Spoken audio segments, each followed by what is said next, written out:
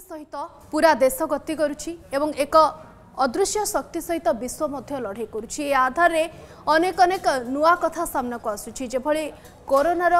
ଭୟାବହତା ଆପଣ ସମସ୍ତେ ଦେଖିଛନ୍ତି ତାପରେ ବ୍ଲାକ୍ ଫଙ୍ଗସ୍ର କଥା କୁହନ୍ତୁ ବା ହାପି ହାଇପୋକ୍ସିଆ ଏସବୁ ସହିତ ବର୍ତ୍ତମାନ ସମୟରେ ମଣିଷ ସମାଜ ଲଢ଼ୁଥିବା ବେଳେ ନୂଆ ନୂଆ ଭ୍ୟାରିଏଣ୍ଟ ମଧ୍ୟ ସାମ୍ନାକୁ ଆସୁଛି ଏବଂ ମଣିଷ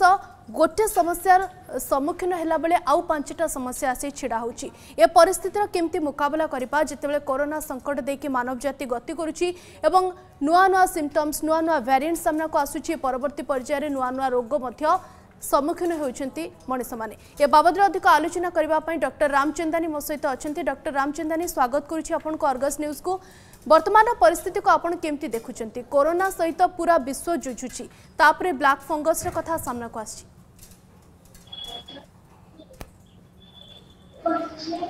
ଦେଖନ୍ତୁ ବ୍ଲାକ୍ ଫଙ୍କକୁ ନେଇକରି ଲୋକମାନେ ଚିନ୍ତିତ ହେବାର କୌଣସି ଆବଶ୍ୟକତା ନାହିଁ ମୁଁ ଆପଣଙ୍କ ମାଧ୍ୟମରେ ପୁଣି ଥରେ ଲୋକମାନଙ୍କୁ ସଚେତନ କରିବାକୁ ଚାହିଁବି ବା ଲୋକଙ୍କୁ ସୂଚିତ କରିବାକୁ ଚାହିଁବି ବ୍ଲାକ୍ ଫଙ୍ଗସ୍ ଆଗରୁ ମଧ୍ୟ ଥିଲା ବ୍ଲାକ୍ ଫଙ୍ଗସ୍ ଯେ କୋଭିଡ୍ ଯୋଗୁଁ ହେଉଛି ଡାଇରେକ୍ଟଲି ରିଲେଟେଡ୍ ଟୁ କୋଭିଡ୍ ନୁହେଁ ଏହା ଯେଉଁ କୋଭିଡ୍ ରୋଗୀମାନେ ଯେଉଁ ଇନଏପ୍ରୋପ୍ରିଏଟ୍ ବା ତାଙ୍କର ଜୁଡ଼ିସିଆସ୍ ଷ୍ଟିରୋଏଡ୍ କରୁନାହାନ୍ତି ବା ବ୍ରୋଡ୍ ସ୍ପେକ୍ଟ୍ରମ୍ ଆଣ୍ଟିବାୟୋଟିକ୍ ନେଉଛନ୍ତି ବା ଯେଉଁମାନେ ଆଗରୁ ଡାଇବେଟିସରେ ଆକ୍ରାନ୍ତ ଅଛନ୍ତି କିମ୍ବା ଇମ୍ୟୁନିଟି ଯାହାର କମ୍ ଅଛି କିମ୍ବା ଯେଉଁମାନେ ପ୍ରୋଲଙ୍ଗ ଇଣ୍ଟେନସିଭ କେୟାର ୟୁନିଟ୍ରେ ରହୁଛନ୍ତି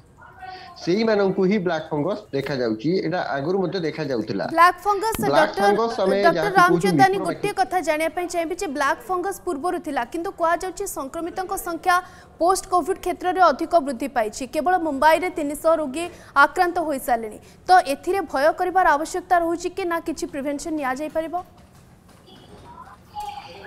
ଦେଖନ୍ତୁ କେବଳ ଯେ କୋଭିଡ୍ ନାଇଣ୍ଟିନ୍ ଦ୍ୱାରା ସଂକ୍ରମିତ ବ୍ୟକ୍ତିଙ୍କୁ ମ୍ୟୁକ୍ରୋମାଇକୋସିସ୍ ହେବ ବା ବ୍ଲାଷ୍ଟ ଫଙ୍ଗସ୍ ହେବ ବୋଲି ମାନେ ନାହିଁ କାରଣ ଆଗରୁ ବି ବହୁତ ରୋଗୀଙ୍କୁ ଯେଉଁମାନେ କ୍ରିଟିକାଲି ଇଲ୍ ଥିଲେ ଡାଇବେଟିସ୍ରେ ଆକ୍ରାନ୍ତ ଥିଲେ किंबा जहाँ मैंने स्टीरोड ड्यूरेसन जब ब्लड सुगर बढ़ी रहा से होता हम्म। किंतु वर्तमान कोविड नाइंटीन क्षेत्र जेहतु संख्या बहुत मात्रा बढ़ी जाए जो सेकेंड ओव्रे पिक्रे ट्रांसमिट बहुत लोग इफेक्टेड होती आउ जो मैंने प्रथम विक्रे मानने क्वाक मैंने विशेषकर जो मैंने प्रथम विक्रे स्टेरयड यूज कर दौरान कि ब्रोड स्पेक्ट्रम एंटीबायोटिक यूज कर दौरान जहाँकि आवश्यकता नहीं प्रथम विक्रे एंटीबायोटिक्र कौन आवश्यकता नहीं কেবল আপনার জ্বর হলে প্যারাসিটামল দেবে এবং গার্গলিং এবং স্টিমুলেশন କରିବେ କିନ୍ତୁ ପ୍ରଥମ ୱିକ୍ରୁ ବ୍ରୋଡ୍ ସ୍ପେକ୍ଟ୍ରମ୍ ଆଣ୍ଟିବାୟୋଟିକ୍ ଦେବା ତା ସାଙ୍ଗେ ସାଙ୍ଗେ ଷ୍ଟିରଏଡ୍ର ଜୁଡ଼ିସିୟସ୍ ୟୁଜ୍ ହେବା ନାହିଁ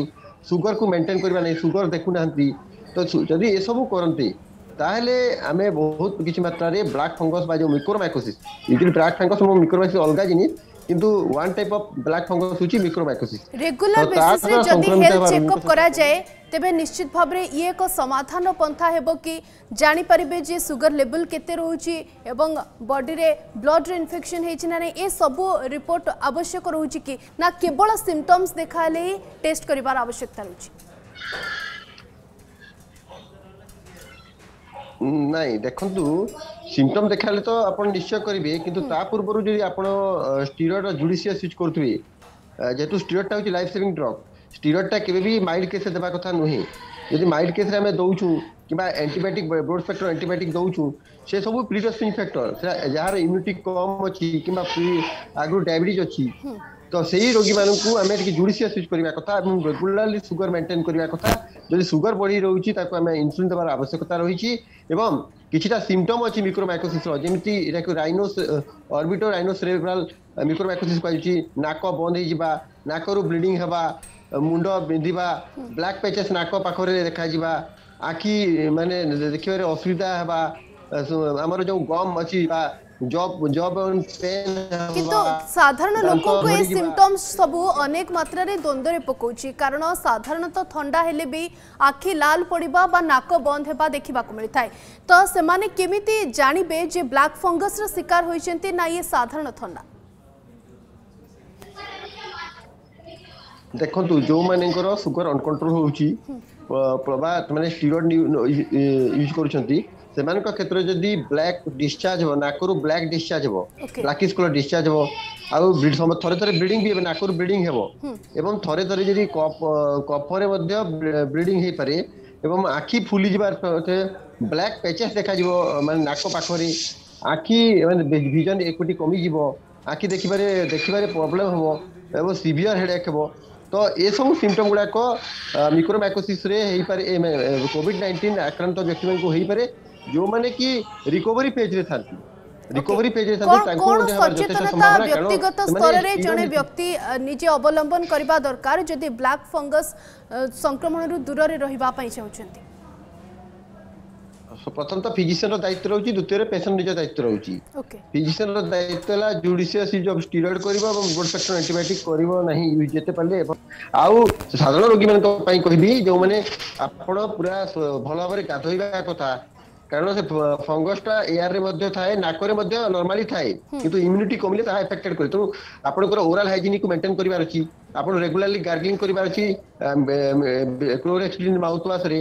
ଆପଣଙ୍କୁ ସ୍କ୍ରବିଂ ଗାଧୋଇଲା ବେଳେ ସାବୁନରେ ଭଲ ଭାବରେ ସ୍କ୍ରବିଂ କରିବାର ଅଛି ଏବଂ ଆମକୁ ପୁରା କ୍ଲୋଜ୍ ମାନେ ଆମକୁ ପୁରା କ୍ଲୋଜଲି ଆପଣଙ୍କୁ ଆମକୁ ମାସ୍କ ପିନ୍ଧିବାର ଅଛି ଭଲ ଭାବରେ ଆମକୁ ଗ୍ଲୋଭ୍ସ ପିନ୍ଧିବାର ଅଛି କିଛି କିଛି ବୟସ ବର୍ଗ ରହୁଛି କି ବୟସ୍କ ବ୍ୟକ୍ତିଙ୍କୁ ଅଧିକ ଆକ୍ରାନ୍ତ କରିବ ନା ଯୁବ ବର୍ଗର ଲୋକଙ୍କୁ ଆକ୍ରାନ୍ତ କରିବ ନା ଛୋଟ ପିଲାଙ୍କୁ ବି ଆକ୍ରାନ୍ତ କରିପାରିବ ବ୍ଲାକ୍ ଫଙ୍ଗସ୍ ସଂକ୍ରମଣର ଶିକାର କେଉଁ ବର୍ଗର ଲୋକ ହେବେ କିଛି ରହୁଛି କି ଦେଖନ୍ତୁ ସବୁ ବର୍ଗର ଲୋକ ଏଫେକ୍ଟେଡ୍ ହେଇପାରିବେ କିନ୍ତୁ ବେସିକାଲି ଯେଉଁମାନେ ଓଲ୍ଡ ଏଜେସ୍ ଯେଉଁମାନଙ୍କର ଡାଇବେଟିସ୍ ଅଛି ଯେଉଁମାନେ ଆଗରୁ ଷ୍ଟିରଏଡ୍ ଖାଉଛନ୍ତି ବା କୌଣସି ଇମ୍ୟୁନୋ ସପ୍ରେସିଭ୍ ଥେରାପି ଖାଉଛନ୍ତି କ୍ୟାନ୍ସର ପାଇଁ ହଉ ବା କନେକ୍ଟିଭ୍ ଡିସ୍ଡିସର୍ ପାଇଁ ଷ୍ଟିରଏଡ୍ ଇମ୍ୟୁନୋ ସପ୍ରେସିଭ୍ ସାଇକ୍ଲୋପସ୍ଫାର୍ମିଟ୍ ଅର୍ ମେଥୋଟ୍ରକ୍ସେସ୍ ଖାଉଛନ୍ତି ସେଇମାନେ ବ୍ୟକ୍ତିମାନେ ୟୁଜୁଆଲି ଯେଉଁମାନେ କୌଣସି ବର୍ଗ ଏଥିରୁ ବଞ୍ଚିତ ନୁହେଁ କହିବା ଡିଫିକଲ୍ଟ କିନ୍ତୁ ୟୁଜୁଆଲି ଓଲ୍ଡ ଏଜ୍ ଓଲ୍ଡ ଏଜ୍ର ପିପୁଲ୍ ଗୁଡ଼ାକ ଯେହେତୁ ତାଙ୍କର ଇମ୍ୟୁନିଟି କମ୍ ଥାଏ ତାଙ୍କର ସେଲୁଲାର ଇମ୍ୟୁନିଟି କମ୍ ଥାଏ ଆଉ ପ୍ଲସ୍ ଯେଉଁମାନେ ଏସ୍ଏଲ୍ଇ କିମ୍ବା କୌଣସି କନେକ୍ଟିଭିଟି ଦ୍ୱାରା ଆକ୍ରାନ୍ତ ଅଛନ୍ତି ଏବଂ ଯାହା ଡାଇବେଟିଜ୍ ଅଛି ଯେଉଁମାନେ କ୍ରୋନିକ୍ ଷ୍ଟିରଏଡ୍ ନେଉଛନ୍ତି ଇମ୍ୟୁନୋସପ୍ରେସର ହୁଏ ସେଇମାନଙ୍କ କ୍ଷେତ୍ରରେ ବେଶୀ ସଂକ୍ରମଣ ହେବାର ଚାନ୍ସେସ୍ ରହିଅଛି ଓକେ ବ୍ଲାକ୍ ଫଙ୍ଗସ୍ର ସଂକ୍ରମଣ ଏବଂ ସିମ୍ପଟମ୍ସ ବାବଦରେ ଆପଣ କହିଲେ ବର୍ତ୍ତମାନ ଆଉ ଏକ ଚର୍ଚ୍ଚା ମଧ୍ୟ ଲାଗି ରହିଛି ହାପି ହାଇପୋକ୍ସିଆ ବା ନିରବ ହାଇପୋକ୍ସିଆ ଯାହାକୁ କୁହାଯାଉଛି ସଡନ୍ ଅକ୍ସିଜେନ୍ ଲେବୁଲ୍ ବହୁତ କମିଯିବା ଏବଂ ତାପରେ ଅଣନିଶ୍ୱାସୀ ଅନୁଭବ କରିବା ଏବଂ କିଛି କ୍ଷେତ୍ରରେ ମୃତ୍ୟୁ ମୁଖରେ ମଧ୍ୟ ଲୋକମାନେ ପଡ଼ୁଛନ୍ତି କୋଭିଡ୍ ସହିତ ଏହାର ସମ୍ପର୍କ କିଭଳି ଦେଖନ୍ତି ଆପଣ ଦେଖନ୍ତୁ କୋଭିଡ୍ ନାଇଣ୍ଟିନ୍ ଭାଇରସ୍ଟା କୁହାଯାଉଛି ଯେ କାରୋଟିଡ୍ ବଡି ଯେଉଁ ଅଛି ଆମର ଇଣ୍ଟରନାଲ୍ କାରୋଟିଡ୍ ଜୁବ୍ଲାଭେନ୍ ପାଖରେ ଗୋଟେ କାରୋଟିଡ୍ ସାଇନସ୍ ଥାଏ ସେଇଠି ସେମାନେ ଆମର ହାଇପୋକ୍ସିଆକୁ ସେ ରିଡିଂ କରେ ରିଡ୍ କରେ ତାପରେ ସେ ବ୍ରେନ୍କୁ ସିଗ୍ନାଲ ପହଞ୍ଚେ ଆଉ ତାର ଅନୁରୂପ ଆମର ଅକ୍ସିଜେନକୁ ମେଣ୍ଟେନ୍ କରିବା ପାଇଁ ଡିଫରେଣ୍ଟ ଆଡାପ୍ଟିଭ୍ ମେକାନିଜିମ୍ ଅଛି ତ କୋଭିଡ୍ ନାଇଣ୍ଟିନ୍ ଦେଖାଯାଇଛି ଯେ କାରୋଟିଡ୍ ଇନସେନ୍ସିଟିଭ୍ ରହୁଛି ବା କାରୋଟିଡ୍ ସେତେ ସେନ୍ସିଟିଭ୍ ରହୁନି ସେ ହାଇପୋକ୍ସିଆ ବ୍ଲଡ଼ରେ ଥିଲେ ସୁଦ୍ଧା ସେ ଜାଣିପାରୁନାହିଁ ତ ସେ କ୍ଷେତ୍ରରେ ବହୁତ ଜଣ ରୋଗୀ ଥାର୍ଟି ଫୋର୍ଟି ହେଲା ପର୍ଯ୍ୟନ୍ତ ମଧ୍ୟ ଜାଣିପାରୁନାହାନ୍ତି ସେମାନେ କଥା ହେଉଛନ୍ତି ନର୍ମାଲି ऑक्सीजन से जो एटी फाइव तलकू खसला मनुष्य मेमोरी इम्पैक्ट पड़े कनसेट्रेसन इम्पैक्ट पड़े ଆଉ ଯଦି ସେଭେଣ୍ଟିରୁ ତଳକୁ ଗଲା ମାନେ ତା ଜୀବନ ପ୍ରତି ବିପଦ ଥାଏ ତ ସେଥିପାଇଁ ଏଇ କ୍ଷେତ୍ରରେ କିନ୍ତୁ ଯେହେତୁ କାରୋଟି ଇନସେଣ୍ଟିଭ ରହୁଛି ତ ଯେହେତୁ କାରୋଟିଟା ସେ ମେସେଜକୁ ପଠାଉନି ବ୍ରେନ୍କୁ ତ ଆଡାପ୍ଟେସନ ହେଇପାରୁନି ଆଉ ଲୋକଟା ଜାଣିପାରୁନାହାନ୍ତି ସଡନ୍ ଯେତେବେଳେ ପୁରା ସିଭିୟରଲି ହାଇପୋକ୍ସି ହେଉଛନ୍ତି ଆପଣ ଦେଖିବେ ଥାର୍ଟି ଫୋର୍ଟି ଥାର୍ଟି ମାନେ ତଳକୁ ଆସିଗଲା ପରେ ସେମାନେ ଜଷ୍ଟ ଧଇଁ ସଇଁ ହେବେ କିନ୍ତୁ ତଥାପି ମଧ୍ୟ ନର୍ମାଲ ଲୋକ ଯଦି ଅନ୍ୟ କୌଣସି ରୋଗରେ ଆକ୍ରାନ୍ତ ଥିଲେ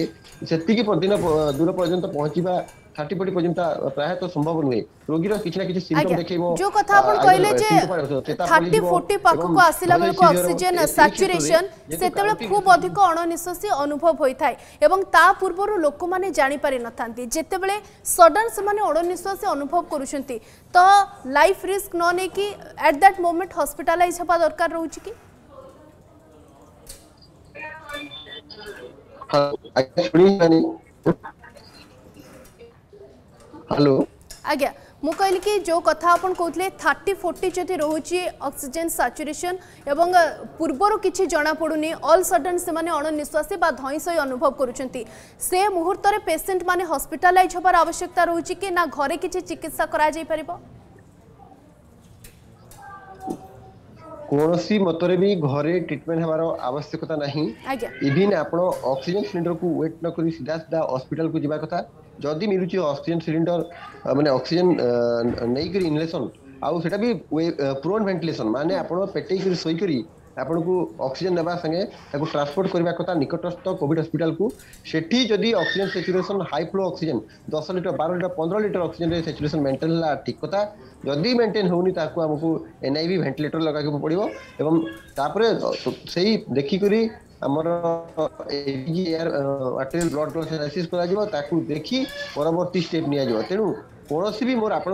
लोक शिक्षित करी जार अक्सीजेसन अक्सीजेसन नाइंटी तल को गले थार्टी फोर्टी तो दूर कथ नाइंटी तल को गले आपको डाक्टर परामर्श ना निहती आवश्यक दरकार पड़े आप कॉविड हस्पिटा भर्ती होवार बहुत बहुत धन्यवाद डक्टर शंकर रामचंदानी लगातार भाव में आलोचना करूँ कि पोस्ट कोविड सिम्टम्स अनेक किसी देखा मिलूँ यह ब्लाक फंगस ବା ଅନ୍ୟ କୌଣସି ସଂକ୍ରମଣରେ ଆପଣଙ୍କୁ ପକାଇପାରେ ତେଣୁ ଯେତେବେଳେ ଅକ୍ସିଜେନ୍ ଲେବୁଲ୍ ଆପଣ ବାରମ୍ବାର ଚେକ୍ କରନ୍ତୁ ନାଇଣ୍ଟି ତଳକୁ ରହିଲେ ତାକୁ ବିପଜ୍ଜନକ କୁହାଯାଉଛି ଏବଂ ନାଇଣ୍ଟି ତଳକୁ ରହୁଛି ବା ଆପଣଙ୍କୁ କେଉଁ ସମୟରେ ବି ଅଣନିଶ୍ୱାସୀ ଅନୁଭବ ହେଉଛି ଆପଣ ତୁରନ୍ତ ଡକ୍ଟରଙ୍କ ସହିତ କଥା ହେବା ପାଇଁ ସେ ଦେଉଥିଲେ ପରାମର୍ଶ ସମୟ ବିଗ୍ ବ୍ରେକିଂକୁ ଏଠି ରଖିବା ମୋତେ ବିଦାୟ ଦିଅନ୍ତୁ ନମସ୍କାର